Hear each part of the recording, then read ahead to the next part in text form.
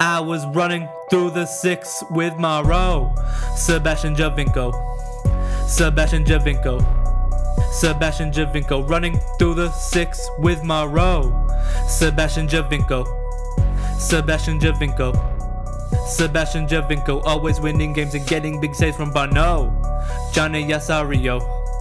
Sitting in midfield and always controlling flow. Bradley is with him, got Van der Wiel passing to Jozy and scoring the goal.